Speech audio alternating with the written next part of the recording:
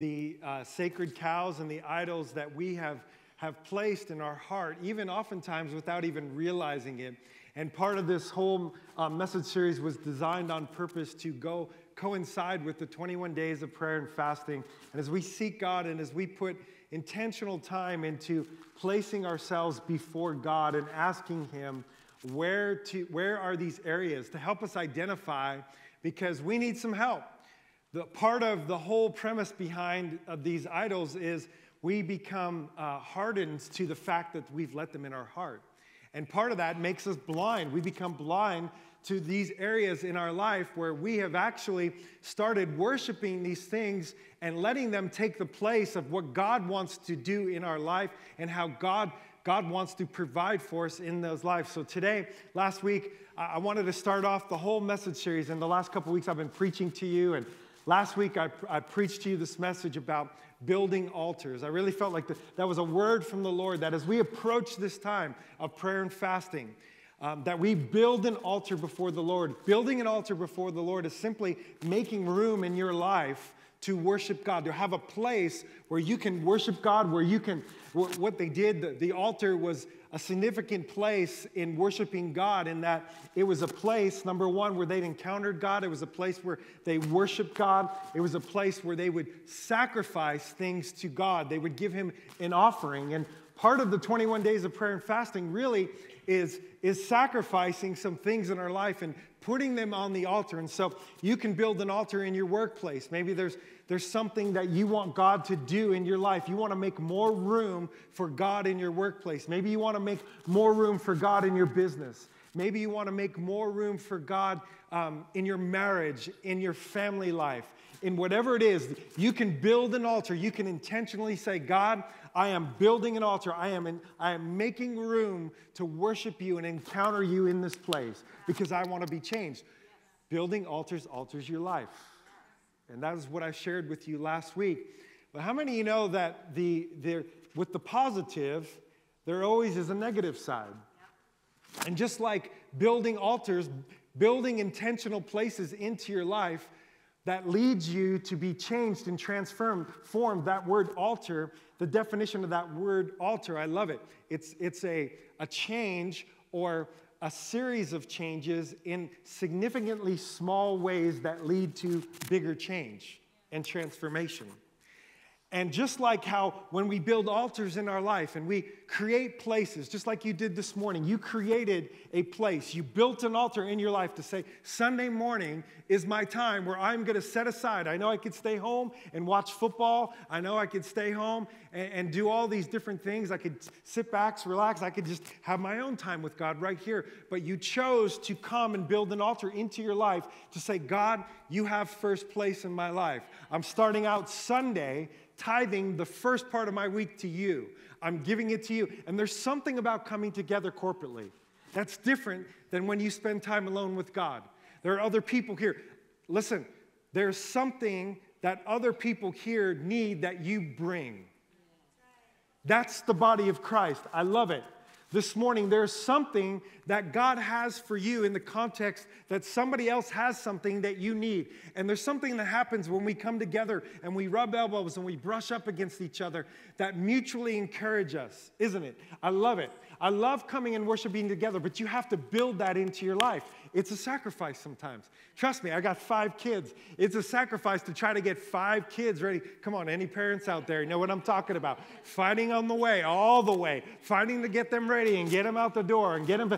Mommy, I didn't eat breakfast. Well, what happened to the bowl of oatmeal I gave you this morning? Why didn't you eat that? Come on, you know it. Just getting them here sometimes is half the fight. It's the fight before the fight. And so we need to build altars in our lives. But when we build altars in our lives, it gives God the opportunity to change us and to transform us. And we don't see it all the time, right? I gave you that analogy. Some of you, you started out the year and maybe you have some goals for your life, fitness goals. Maybe you have some goals apart from fasting where you want to get in better shape, you want to look better. And oftentimes when we embark on those goals, I don't know about you, but the problem for me is I'll do it for a month or two or three. And if I don't see change in me after doing it for two, three months, I'm like, forget this, man. I'm going back to the Twinkie, buddy. I mean, I'm not, I'm, I'm sacrificing all this stuff to try to change, and yet I don't see the change in my life. And I think that's the difference between faith. God changes us oftentimes in very subtle, little, but significant ways. He alters our life. As we build an altar and we give God room and a place in our life to encounter us and we worship Him, little by little, He is changing you in a significant way. But the flip side of that, the negative side, if you will, is that you can be altered in a negative way. Just like as we make room for God, you can make room for other things in your life, and the things that you let into your life will also alter you and affect you and change you negatively. And so, as we start this journey as embarking on looking at the areas in our life where we've let some things into the throne of our heart, there is no greater God than the God of money. And Jesus talked out of 38 parables, about 16 of the parables if I got that right, are all about money. Jesus spoke about money more than any other thing. It was very clear that Jesus was trying to get the point across to us that money is God's greatest competition for your heart and for my heart. And yet, if you're like me, as I began studying God's word and what he had to say about loving money and worshiping money and letting money become an idol in my heart, at first I was like, no way, I don't have a problem with that. That's not a problem with me. Like, and maybe you're here today and you don't have a lot of money and say, Pastor Lance, well, I could check out of this message because, you know, that's definitely not a problem for me. I don't have a lot of it. Well, having a lot of it or having a little of it, it doesn't matter. It's what you value in your heart. So we're going to take a look at a passage of scripture of Jesus teaching his disciples, his followers, just like you're here today and you're following and you're on this journey with Jesus. And he had his disciples, and he begins this passage out of Luke 12, where he begins the whole chapter starting off warning there's this whole crowd of people. So, you know, Jesus had his his, he had his followers. Those were people that followed him from a distance. They kind of liked, they were intrigued by what he said. And maybe you're here today and you're kind of intrigued by this whole, whole person called Jesus and the Bible and Christianity and church and what's this all about. You've kind of been following from a distance and you've been listening to the teachings. And then he had this inner circle of his disciples, his devout followers, his ones that were committed to him. And there's this huge crowd surrounding Jesus as he's about to start teaching and he just tunes them out. He just says, Yeah, I know you're all here and you want to hear me speak, but right now, I want to talk to you guys. And he begins to talk to them about this thing he calls the yeast. He says, Beware of the yeast of the Pharisees. And he describes this yeast of the Pharisees as hypocrisy. Now, Jesus came into the world to save the world, and the very people that were the religious leaders of the day completely missed the fact that Jesus came and he was the Messiah, and he came to usher in a new agreement, a new promise between God and man, that he would be the sacrifice once and for all for sins. And the very people that were leading his church, the Christian leaders of the day, they missed out on it. Why? Because they had to let a little yeast get into their heart and ruin their heart. And I believe that's exactly how idols work in our life. In the beginning, we just let them in a little bit, and they find a way to work into the dough of our heart, and eventually they get all up in our business and into our heart, and then they slowly change us to where we begin to start to serve them. Jesus said this significant statement. He said, You cannot serve God and money. He says, You're either going to hate the one and love the other, or you're going to despise the one and be devoted to the other. But you can't serve God. And that word for money is actually the, the word mammon. And the mammon, mammon is a big fancy word, but it was a god that the Syrian culture, they, they, they worshiped. They idolized this idea of serving. Now, mammon is a spirit. It's the spirit of this world. It's a spirit that you and I, because we are immersed in this culture, this American culture that it, it has gotten into us, it has infiltrated the church, it has infiltrated us, and it's gotten into us. And little by little, if we're not careful, we need to heed the warnings of Jesus this morning beware. Beware of this yeast. And then he goes on, and we're going to pick up the story in Luke chapter 12, and we're going to start in verse 22. 22. No, I'm sorry. I knew that. We're going to start in verse 13. And the whole title of this is The Parable of the Rich Fool. And this is Jesus.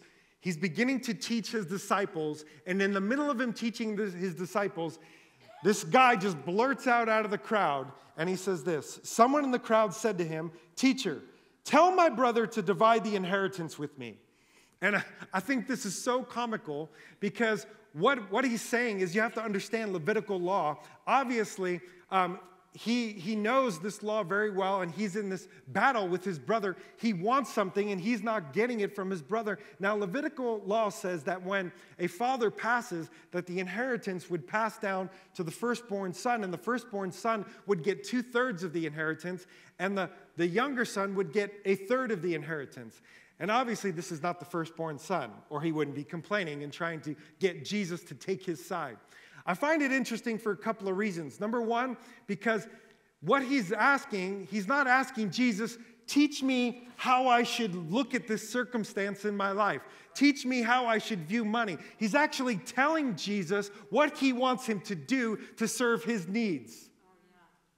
Like he doesn't want to know what Jesus would want to tell him about how he should look at his money and look at his inheritance. He actually wants to tell Jesus, hey, hook, hook a brother up.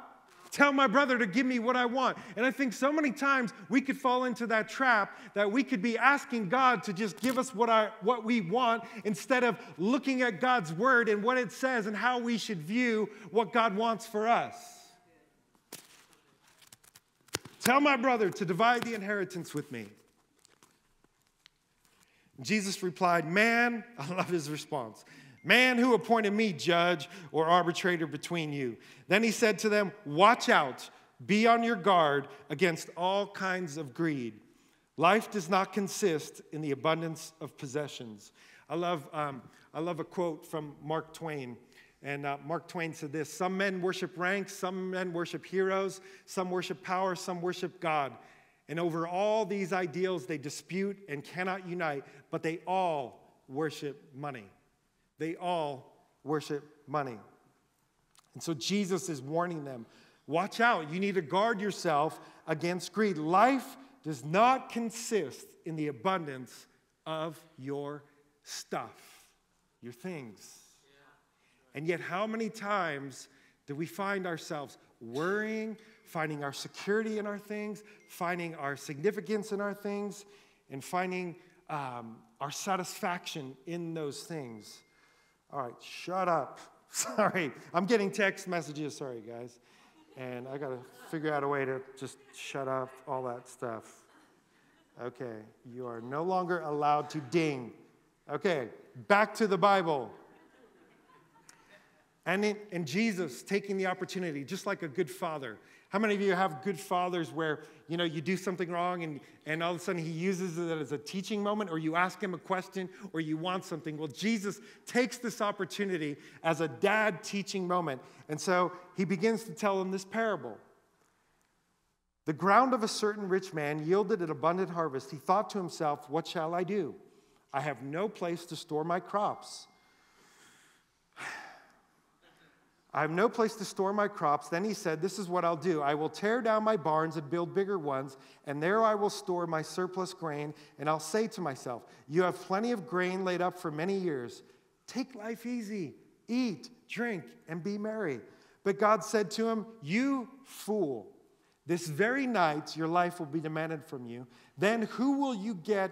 Who will get what you have prepared for yourself? A very expensive grave. Then this is how it will be with whoever stores up those things for themselves, but is not rich towards God.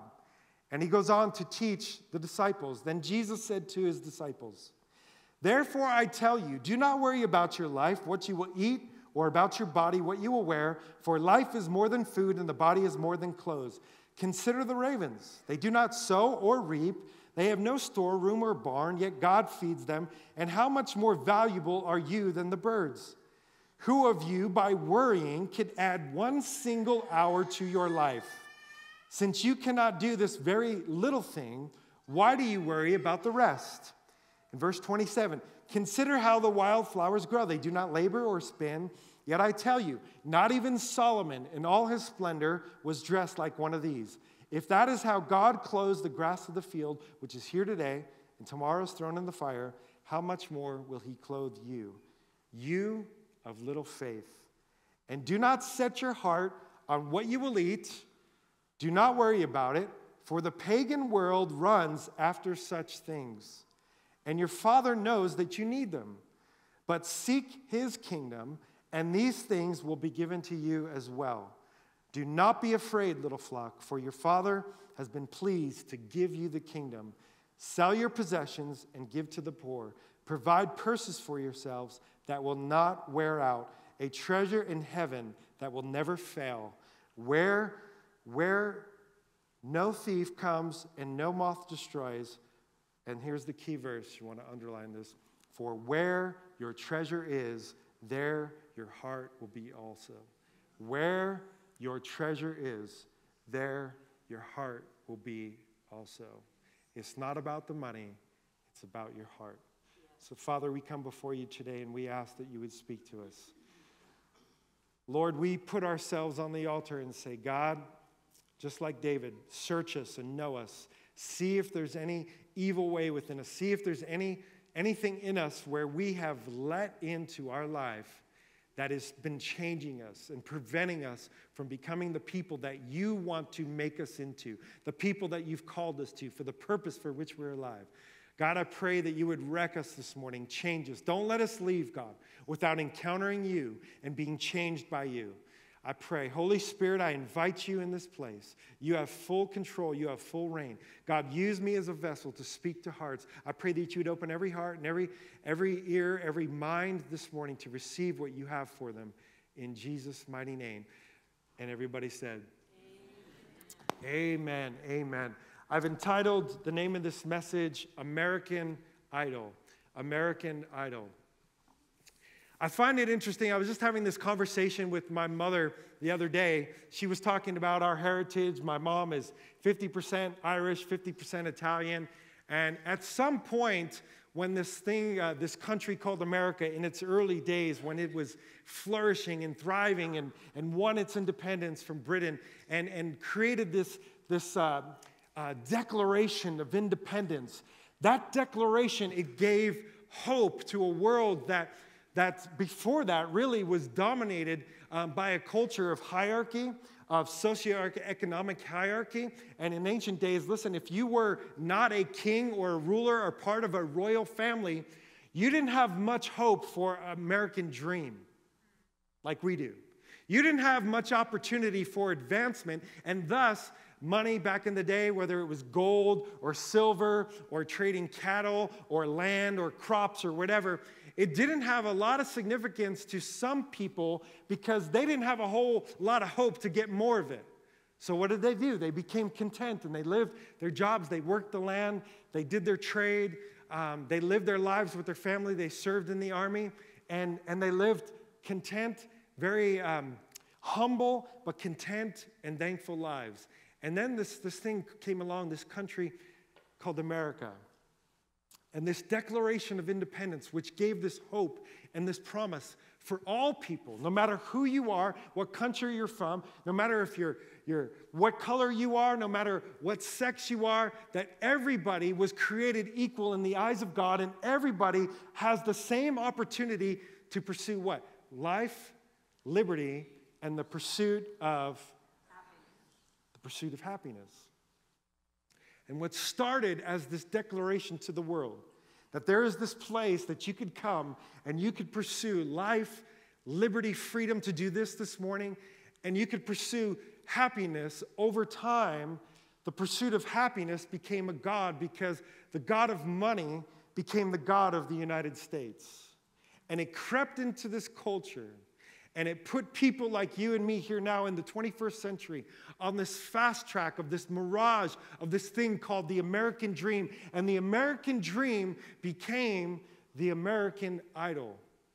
We began to worship this idea and has infiltrated even in the church. And I believe that God wants to expose some of these things that we've let creep into our heart and began to serve a purpose. Now, money in and of itself is not a bad thing, it's, it's amoral.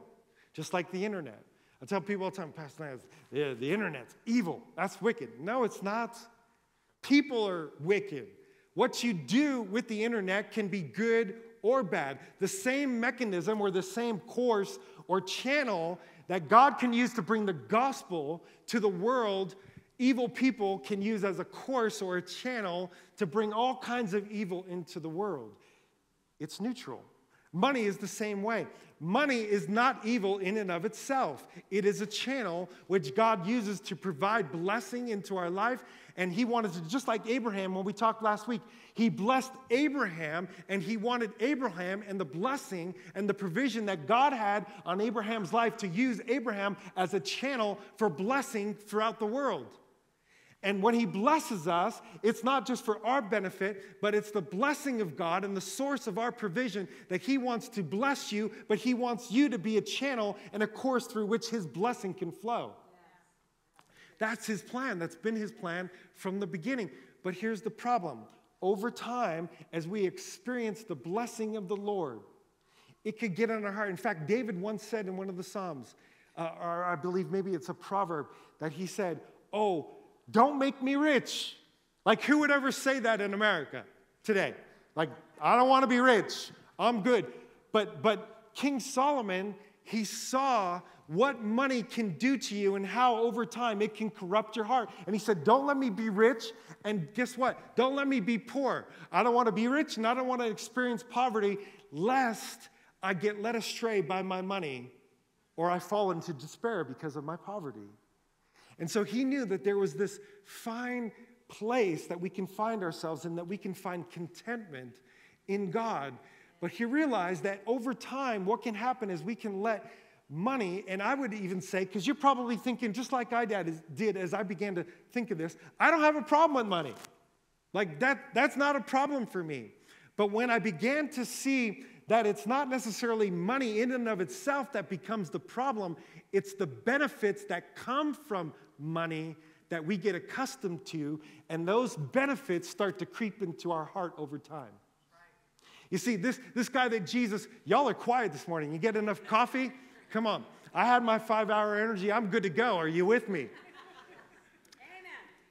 And Jesus was trying to wake them up to the reality that don't be like the Pharisees. Look at them, their hearts have gotten hardened because they've fallen in love with money and power and prestige and being significant and the benefits of money. They may not say, Oh, I have a money problem. I guarantee you, if we were to do a poll this morning, not one of y'all would say, I got a money problem. Oh, that guy over there, he's that guy, but that ain't me, Pastor. I don't got a problem with money. No, nobody has a problem with money and everybody's generous. And the Hey, just saying. If you make over $44,000, you're actually in the top 2, 2%, I'm sorry, 1% in the world. You're actually considered rich. You don't believe me? Get on a plane and go to Africa and check out some villages over there. You'll come back feeling pretty dang rich. When you sleep in the dirt and some rocks and you bathe in a mud pit, come on, somebody, and you eat some I don't know what. You think fasting's bad here? You think Daniel fasted fast? Go over there and eat some of that stuff. Yeah. You'll feel pretty dang rich real fast. Right. See, we don't think we're rich, and that's part of our problem. Yeah. We don't think we have a lot. But we have so much, and we are so blessed. But here is the problem, and here's the one takeaway that I want to get through to you today. Because over time, I think what happens is we start to worship and we start to mistake the course for the source. The course for the source. Don't mistake the course for the source. Don't mistake the course for the source. Well, I don't understand that, Lance. Um, unpack that for me. Let me unpack it for you. The course, a course is a channel through which something comes to you or a direction in which it flows. Now, in my house, in my bathroom, um, I have a sink and I have a faucet, and when I turn that faucet on, water comes out of the faucet.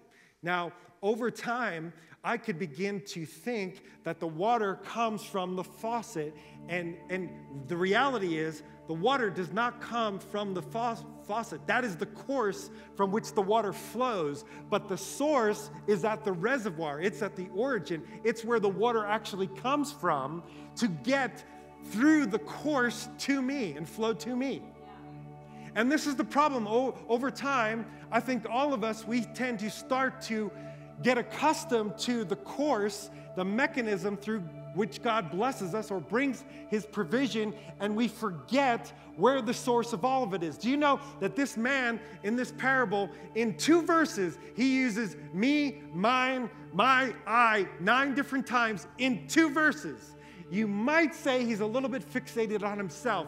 He's gotten to a place where blessing has come into his life, and he's gotten delusion to think that the blessing is his that it's His. And this is one of our biggest mistakes that the blessing in our life is for us. It's the consumption assumption that what I have is mine and to use how I want it. And God never blessed us. He doesn't give you just to provide for you. He wants the provision of the blessing to flow through you. You are a course, you are not the source. But over time, we can begin to start thinking that the course is the source, and we can mistake the two and begin to worship the ways in which God brings, brings blessing into our life. And there's three areas that this man began to start mistaking the course for the source. Number one, he started to think his source was his security. His course was his security. He started to think that his, his, uh, his course was his satisfaction.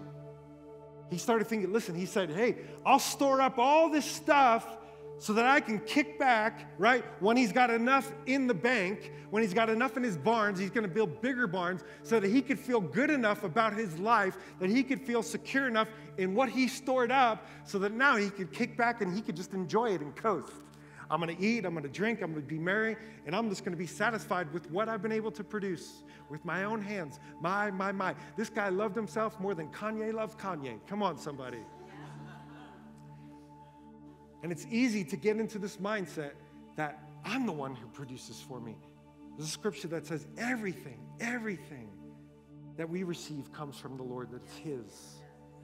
And I'm so thankful for the blessing that we get to live in this great country, America, but let's not mistake the course for the source.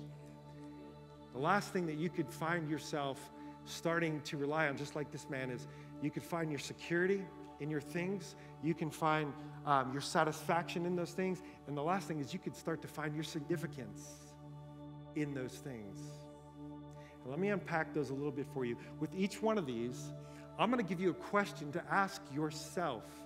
And I want you to write it down because what I believe is that we don't see it oftentimes in our life. We don't even realize we've let these things replace God and what God wants to be for us. We've started to find our provision in things that money can afford to us, the channel that it brings. Let's start out with security.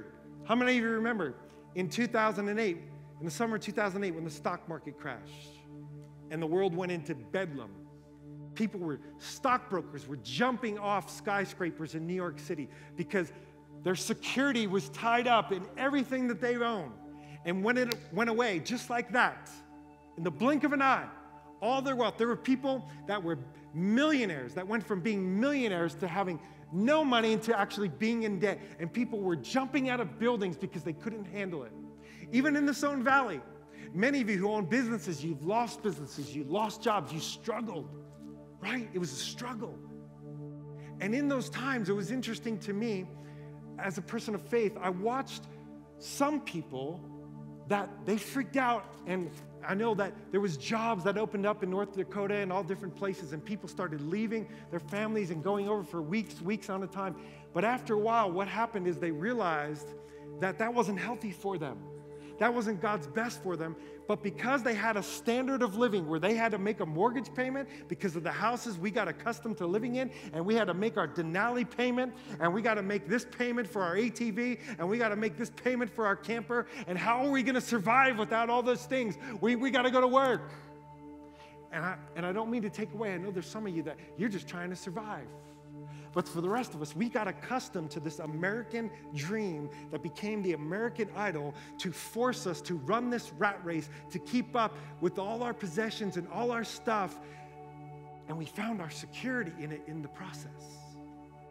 And when that security rug was pulled out from under us, we scattered and hammered and we were, we were grabbing on to anything we could to maintain our lifestyle. And you know what happened in the process?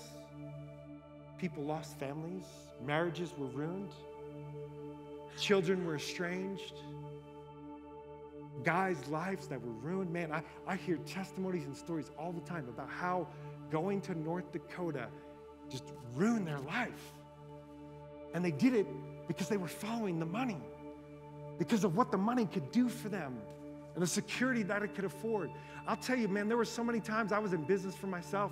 I own my own business. I can't tell you how many times I was on my knees crying out for God to move because there was nothing that I could do. I wonder how many of us would pray more for our daily bread if we didn't have so much bread stored up in the pantry. How many times do you get to a place in your life where when you're in trouble, then you're going to run to God? But when everything's going good and your pantry is full of bread and you're feeling secure about yourself, well, we don't need God so much in those moments. And we tell. Here's another question to ask yourself How much, how much anxiety do finances add to your life? How much of your time do you feel stressed and worrying about how are you going to pay for this? How are you going to how are you going to pay for that? How are you going to pay off Christmas debt that you just got the credit card bill for? Come on, somebody, I understand. I feel your pain. I got 5 kids. How many t- how much hours, how much of your thought life do you spend being worried and anxious and trying to figure out how am I going to pay for how am I going to provide for my family? Listen, Stop worrying about the course, how it's going to come, and go to the source. Don't mistake the course for the source. God is your provision. God, why don't you start by just thanking Him that you're alive and you're healthy and you have a family? You know what got me through all those days when I'd be driving home and man, I would be so beaten down. I'd be so stressed out. How am I going to make it? How am I going to make it another month with my business? I got all these loans I got to pay for and I don't know how this is going to work. And I would be so stressed out. I'd be driving home and I would just keep repeating to myself, God, I trust you trust you. I don't know how this is going to work. I trust you. Thank you. I would remember driving home and I would see my house and tears would just start to come into my eyes because I would say, you know what? The reality hit me. They could take away my business. They could take away my house. They could take away my cars. They could take away my bank account, but they can never take away you, Jesus. And they can never take away my wife. They can never take away my kids. And those are the things that mean the most to me in my life. So I'm going to put my hope and I'm going to put my trust in you. Here's another, another question to ask yourself What is your attitude towards giving? Do you give out of like, oh man, here we go, the bucket's coming around. Come on, get out your wallet. You got to give something today. Or do you give like we prayed this morning out of a cheerful heart? That you're happy. What happens when giving opportunities? What happens when I stood up here couple of months ago and asked you to sow into this vision where you were like, uh, here we go again. The church is asking us for something else. Because you're looking at it like it's yours. Your money is yours. You control it. You control it. You own it. You are just a steward of what God has blessed you with. You are a channel. You are a course of provision that God wants to use you to bless the rest of the world. But we could get tricked and duped into believing that everything we have is ours and we can use it for our own self and security. The second thing is satisfaction. Wow, this one, I believe this one hits us so hard. Do you know what appetites do? Appetites are never satisfied, they always want more. Nothing becomes more clear than when you do a fast how much you have an appetite for certain things. Like you don't even realize how much food means to you until you take it out of your life, right? Come on, somebody and you realize like how much of your life is actually wrapped around eating, how much satisfaction you get around eating, how much satisfaction you get from eating with other people and eating all kinds of food and things that you like. We get satisfaction and we are appetites are never satisfied. They always want more.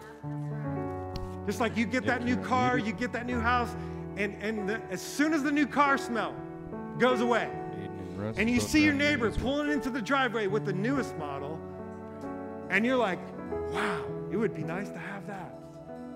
See, we're not satisfied. You know, there's been so many studies that show a link because we, we think that money equals happiness. We think it does. Come on, let's get real with each other. We think that the more money we have, the more happy we're going to be. And the truth is, they've done study after study after study, and there is no link, very little link, unless you're in a, an impoverished situation. The only, the only time that that may help is if you're in a impoverished situation. Outside of that, there is no link. I think back to the days when my wife and I, we had, we had nothing, man. Remember those days? We're like a, a Taco Bell 50 cent taco was like dinner. I mean, we used to get in college, we're in a two bedroom, 750 square foot townhouse. Just me and my baby. We had like, we couldn't even fill it up, 750 square feet. We didn't even have enough furniture to fill it up. I mean, our refrigerator, it was like, I, true story. I used to go to this grocery store that used to sell discounted food because cans were dented up. And, and, and meat that was going to expire, they froze it before it expired. Come on, somebody. You remember those days? I mean, we, drove a little Nissan Pulsar, little two seater, beat up, blowing smoke out the back, could barely put it $2 of gas in it just to get to school. And yet, man, we were happy. I am no more happy today than I was back then. I was so happy. I was satisfied. The Apostle Paul encouraging Timothy, he said, Godliness with contentment is great gain. See, we think that having more, having more stuff, man, I wish I could have that ATV. I wish I had that new camper. I wish I had that new car. I wish I had a better house. I wish, I wish, I wish. More, more, more, more, more. And all the more does is it complicates our life. It gives us more stuff to worry about, more stuff to put money into, more stuff to take care of, more stuff to, to rob our satisfaction away from the very thing that God wants us to go to Him for our source of satisfaction. But we get so accustomed to finding our joy and happiness in all these things instead of the one that is the source of happiness and joy. The last thing is we find our security in these things, we can find our satisfaction, but even more so, we can find our significance in these things. Now, look at this question. Actually, I didn't do the question for the last one. I want to do that one because it's good. You could go back to satisfaction. To what extent are your dreams and goals driven by money? Think about that one. Everybody in this room right now, you've got some dreams, you've got some goals. Maybe even you started out the new year, you had some goals for yourself. What part of those dreams and goals, underlying, underneath those dreams and goals, is really about money? Think about that. As you're thinking about that, think about this. How much do we look to money, how much we make, how much we have as our source of significance? Here's a question for you on this one. How often do you compare what you have and how much you have with others? Come on now. I know you, I know all of us have done this, and I think even social media has fueled this whole comparison thing where you know everybody's putting their their front stage life out in the open on social media and how great their life is and all their things and how wonderful they are but you don't see the backstage life. And we love to showcase that part. And you're looking at this one and saying man look at man they're going on a trip to mexico? Must be nice. They got a brand new car? Must be nice but I'll tell you what, this one hit me so hard because it brought me back to, I don't know, many, many of you know my story. I'm sorry, we're going a little bit long. Just give me a few more minutes. We're almost done. But I want you to get this last one because it's so, so important. I don't know that we really realize how much significance we find in how much we make because we've associated the value of our life on our position, our title, or how much money we make, or what we own, if we're a business owner, or our title in business. Let me tell you something. Back, um, Peter Berger authored this book called The Homeless Man, The Homeless Mind, excuse me, The Homeless Mind. And in that, he studied homelessness. And one of the things he found, which was one of the keys, is he says in ancient cultures, in, in previous cultures, people found their significance in honor. like people who had a role like a mother or a father or a teacher in society, they were honored within that culture, and that honor brought significance to their role.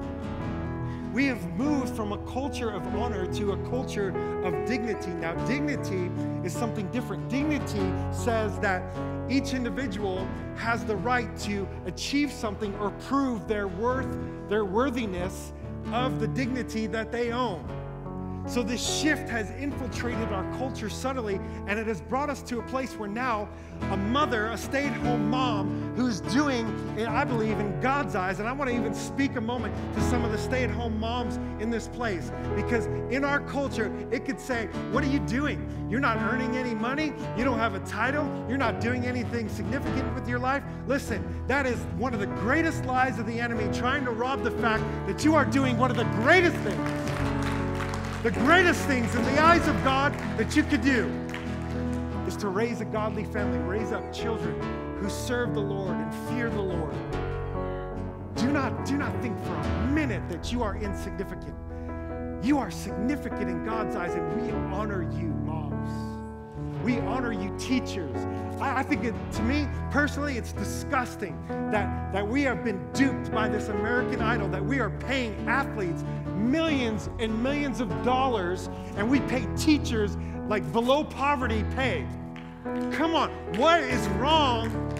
The American dream has become the American idol, and we are starting to value dignity over honor, where honor is due.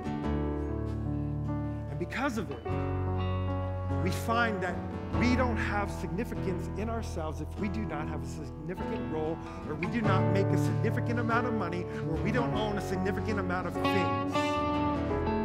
And God wants to tear that idol out of our life and say that you are significant in my eyes. I sent my son Jesus to die for you because you are so significant. And I love you. And I'd give my life for you. You guys can dim the lights. We're going to close. I want to close by sharing with you a personal story that really was even a little bit of a struggle for me to share with you. But about a year and a half ago, I went through this really funky phase, and I know pastors don't talk about this stuff a lot. But I think unless we talk about it, it's not real. And I don't want this to be the reality. I want this to be the reality. And I want a culture, by the way, I want a church that this is the reality, that we don't have to come to church and put on a mask and put on a front and pretend. And so, you know, I was doing this, but behind the scenes, I was wrestling with God for a season. Because I used to be in business and I used to make, by worldly standards, quite a bit of money. In fact, I, I used to pride myself a little bit. I'm embarrassed by this. That I, a statistic one time that what I made was in the top 2% of all Montanans. I felt pretty darn good about myself about that. It brought significance to my life. I'd owned businesses. I'd been successful in business. I was traveling the world. I was meeting with Fortune 5, 500 VPs and C level people and having these extravagant dinners and going, traveling all over the world. And, and I was loving life. I was serving God. But look at this. If you guys could put that scripture up in Second Kings. While I was serving God, I was letting things into my life. Look at this. While they worshiped the Lord, but they also served their own gods in accordance with the customs of the nations from which they had been brought. So for you and for me, we could be serving God. We could, just like we're going to do here in a minute, we could be praising God. We could be worshiping Him. And in the meantime, we could be serving other gods in our hearts. What I found, I got into this really funky place where I, I felt depressed. I felt like I lost myself, like I didn't even know who I was anymore because I went from this role where, man, I brought home the bacon. I was, I was proud of what I was able to provide for my wife and my kids and my family and give them a good life and vacations and, and a new car to drive and a beautiful house and all these things. It brought significance to me. I felt like somebody. In my whole life, I had this wound inside me that I wasn't significant enough. And, and to me, this was proof. It was like, see, I'm significant because of this, because of how much I can make and what I can earn and my title was. And I didn't even realize And I thought to myself, man, God's sovereignty and provision for my life was that He removed me and He gave me the choice. And thank God I said yes to becoming a pastor because I follow, I believe, what God's call is for my life. But in doing so, I felt like I lost myself. I lost my sense of significance. And I don't know how to do that. And I came before God and I said, God, who I, I don't even know who I am anymore. I don't even know if I'm doing good, if I'm doing this right. Am I doing a good job? Am I significant? Does this mean anything? When God began this process saying, listen, I just want you to be my son. I just want you to be my son. You are significant. You are doing what I called you to do. Therefore, you are a success. Success isn't the world's definition.